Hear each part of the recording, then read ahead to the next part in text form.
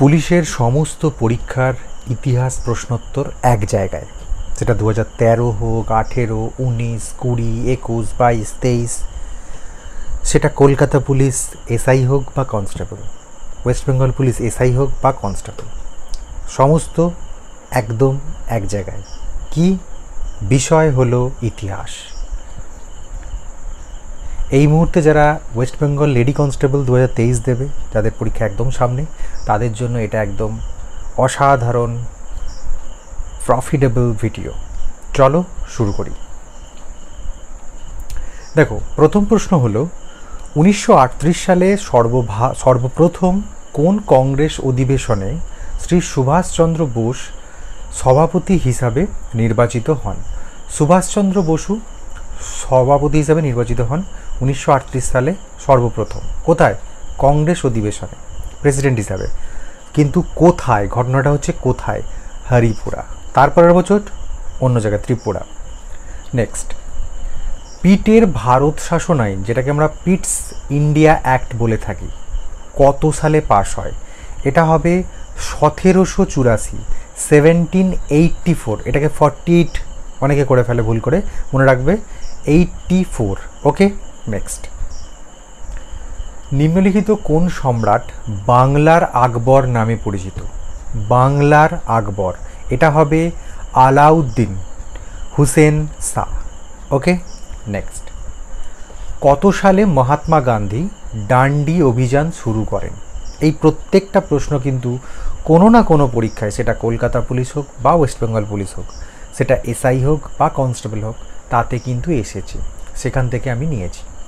তো দেখো, ডান্ডি অভিযান শুরু হয় উনিশশো সালে। তোমরাও মেলাতে মেলাতে থাকো মানে এগিয়ে যাও। দেখো কতগুলো সঠিক হয়, ভুল হয়, ওকে? আঠেরোশো পঁচাশি সালে, ঠিক আছে, কংগ্রেসের প্রথম অধিবেশন নিম্নোক্ত কোন শহরে অনুষ্ঠিত হয়? আঠেরোশো পঁচাশি সালে কংগ্রেসের প্রথম অধিবেশন হয়, এখান থেকে আমরা পেয়ে যাচ্ছি। তাহলে আঠেরোশো পঁচাশি সালটা কিন্তু ইম্পর্টেন্ট ওকে? কংগ্রেসের অধিবেশন প্রথম হয়। কিন্তু এখানে কোয়েশ্চেন্স করেছে, কোথায়? কোন জায়গায়? উত্তর হবে বোম্বে। মানে বোম্বাই। মাহমদ বিন তুগলক তার রাজধানী দিল্লি থেকে কোথায় স্থানান্তরিত করেন? দিল্লি থেকে কোথায় স্থানান্তরিত স্থানান্তরিত করেন? উত্তর হবে দেবগিরি। ওকে? কোন ধর্মগুরু শিখদের পঞ্চ ক কার ধারণ করার নির্দেশ দেন? কোন ধর্মগুরু শিখদের নির্দেশ দিচ্ছে? পঞ্চ ককার ধারণ করার। কোন ধর্মগুরু? ধর্মগুরুর নাম চেয়েছে এখানে। ঠিক আছে? এখানে উত্তর হবে গুরু গোবিন্দ সিং। ওকে?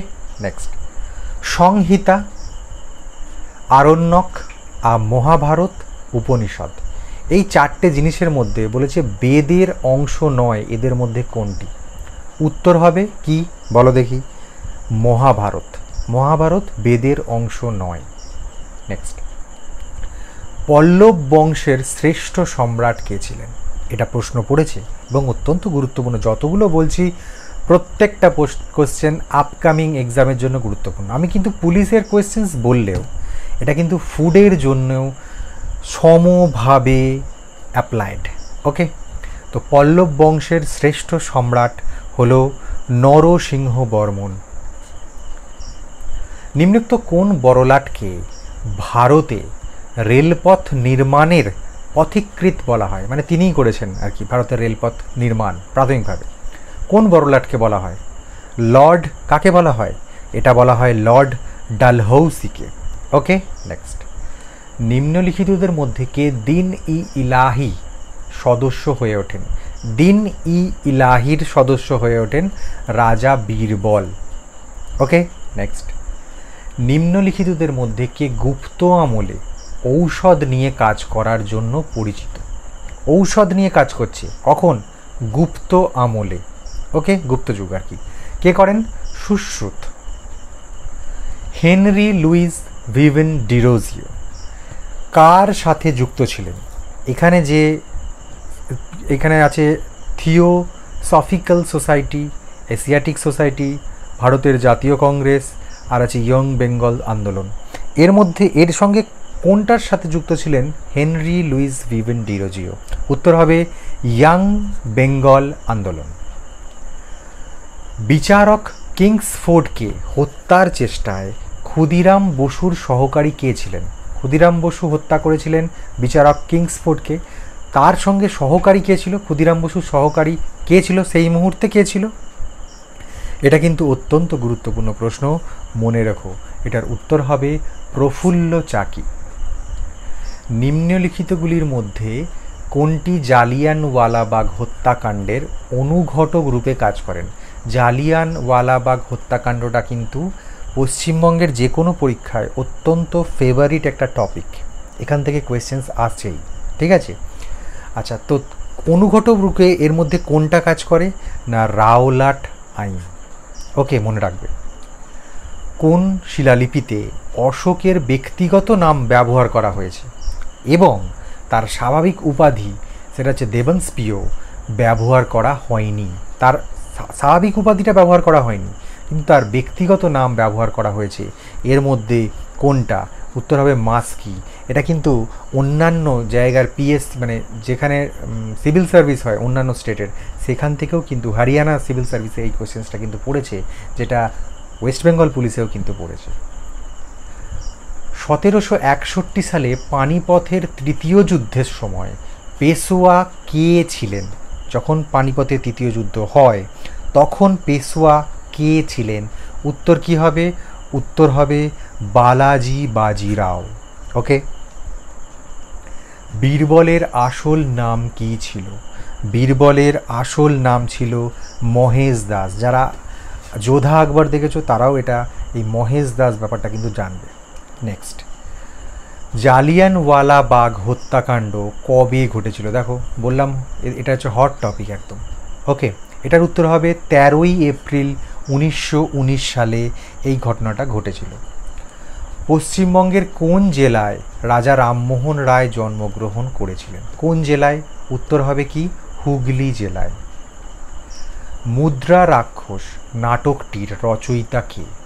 মুদ্রা রাক্ষস নাটকটির রচয়িতাকে উত্তর হবে বিশাখ দত্ত। নেক্সট কোন গভর্নর জেনারেলের আমলে ব্রিটিশ শাসিত ভারতবর্ষের প্রতিটা থানা সাব ইন্সপেক্টরের অধীনে পরিচালিত হওয়া শুরু হয়? মানে কোন গভর্নর জেনারেলের আমলে ব্রিটিশ শাসিত ভারতবর্ষের প্রত্যেকটা থানাতে কে পরিচালনা করবে? সাব ইন্সপেক্টর তার অধীনে পরিচালিত হবে। এটা কোন গভর্নর জেনারেল আমলে হয়? এটা অত্যন্ত গুরুত্বপূর্ণ প্রশ্ন যারা পুলিশের পরীক্ষা দিচ্ছ তাদের জন্য অবশ্যই। ঠিক আছে? এটার উত্তর হবে লর্ড কর্নওয়ালিস। লর্ড কর্নওয়ালিসের সময় থেকেই প্রতিটা থানায়, ভারতবর্ষের প্রতিটা থানা সাব ইন্সপেক্টরের অধীনে পরিচালিত হওয়া শুরু হয়। উনিশশো তেতাল্লিশ সালে নিম্নলিখিত কোন স্থানে সুভাষচন্দ্র বোস প্রথম স্বাধীন ভারতের অস্থায়ী সরকার গঠন করে। অস্থায়ী সরকার, কিন্তু স্বাধীন ভারতের অর্থায়ী সরকার প্রথম গঠন করে উনিশশো তেতাল্লিশ সালে কিন্তু। ঠিক আছে? এর মধ্যে কোন জায়গায়? উত্তর হবে সিঙ্গাপুর। ওকে? আচ্ছা নিম্নলিখিত কোন ব্যক্তি ইস্ট ইন্ডিয়া কোম্পানির দ্বারা জগৎ সেট নামাঙ্কিত হয়েছে? মানে ইস্ট ইন্ডিয়া কোম্পানি তাকে নাম দিয়েছে জগৎ সেট। তো এদের মধ্যে কে উত্তর হবে? মানিক চাঁদ। নেক্সট। কলকাতাকে আলীনগর নামকরণ কে করেছিলেন? এই চারজনের মধ্যে কলকাতাকে আলীনগর নামে পরিচিত করেছিলেন কে? উত্তর হবে সিরাজউদ্দৌল্লা বৌদ্ধ ধর্মগ্রন্থ ত্রিপিটক। বৌদ্ধ ধর্মগ্রন্থ ত্রিপিটক। কোন লিপিতে লেখা হয়েছে? এটা পালি লিপিতে লেখা হয়েছে। তমলুকে জাতীয় সরকারের মহাপরিচালক কে ছিলেন? তমলুকের জাতীয় সরকার যে ছিল, তার মহাপরিচালক কে ছিলেন? সতীশচন্দ্র সামন্ত। এটা মনে রেখো। কোথাও যদি পড়ে যায়, তাহলে বলতে পারবে। মনসবদার প্রথা কে প্রচলন করে? মনসবদার কিন্তু আকবর প্রচলন করেন। এটা খুবই সহজ প্রশ্ন। সতীদাহ প্রথা কে রদ করেন? এটাও অত্যন্ত সহজ প্রশ্ন। কে করেন? Lord William Bentinck. নেক্সট কে প্রথম ভারতের জাতীয় আয় দ্যাট ইজ ন্যাশনাল ইনকাম নির্ধারণ করেছিলেন? কে করেছিলেন প্রথম জাতীয় আয়? কে, কি উত্তর হবে? কি বলো? তোমাদের কি মনে হচ্ছে? কোনটা হতে চায় মানে হতে পারি? এটা কিন্তু প্রশান্তচন্দ্র মোহালেনবিস হবে না। হবে দাদা ভাই নৌরাজি। ওকে নেক্সট কোন মুঘল সম্রাট জিন্দা পীর নামে পরিচিত ছিলেন? তিনি তাকে জিন্দা পীর নামেও মানে পরিচিত তিনি ছিলেন। এদের মধ্যে কে? উত্তর হবে আওরঙ্গজেব জালিয়ানওয়ালা বাগ কোন সালে হয়েছিল এই ঘটনাটা? দেখো, বারবার আসছে ঘুরে ফিরে। উনিশশো উনিশ সালে। কোন আন্দোলনের সময় থেকে বল্লভভাই প্যাটেল সর্দার নামে ভূষিত হন? সর্দার বলে একটা মুভি আছে, পারলে দেখে নিও, খুব ভালো মুভি ঠিক আছে? তো সেই সর্দার নামে তিনি ভূষিত হন কোন আন্দোলনের পর থেকে? না, সেটা বারডৌলি আন্দোলনের পর থেকে। সার্ভেন্টস অফ ইন্ডিয়া সোসাইটি, এটা প্রতিষ্ঠা কে করেছিলেন? এটার প্রতিষ্ঠা করেছিলেন কে? বলতে পারবে? গোপাল কৃষ্ণ গোখলে। ওকে নেক্সট ফতেপুর সিক্রি, অত্যন্ত গুরুত্বপূর্ণ প্রশ্ন। কে প্রতিষ্ঠা করেছিলেন? Fatehpur Sikri is related to Akbar. Akbar প্রতিষ্ঠা করেছিলেন। উনিশশো ছেচল্লিশ সালের ক্যাবিনেট মিশনের প্রধান পদাধিকারী কে ছিলেন? ক্যাবিনেট মিশনে যে প্রধান পদাধিকারী, সেটা উনিশশো ছেচল্লিশ সালে যে ক্যাবিনেট মিশন হয়েছিল, সেটার প্রধান পদাধিকারী পদাধিকারী কে ছিলেন? কি হবে? কি হবে? Lord Pethick Lawrence. Lord Pethick Lawrence. Kaiser ই হিন্দ। কাইজার ই হিন্দ কাকে বলা হতো? মনে রাখবে, মহাত্মা গান্ধীকে কাইজার ই হিন্দ বলা হতো। সম্রাট আকবরের কোন জায়গার বিজয়কে স্মরণীয় করে রাখতে বুলন্ত দরওয়াজা নির্মাণ করেছিলেন।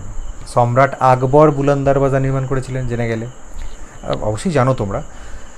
কিন্তু কোন জায়গার বিজয়কে স্মরণ রাখতে এটা করেছিল? সেটাও ইম্পর্টেন্ট একটা question that is Gujarat. Next Ajanta গুহাচিত্রগুলি কোন সময়কার? গুপ্ত বংশের, রাষ্ট্রকূট বংশের, পাল বংশের, মৌর্য বংশের। এখানের মধ্যে উত্তর হবে গুপ্ত বংশের সময়কার ভারতের নেপালিয়ান নেপোলিয়ান।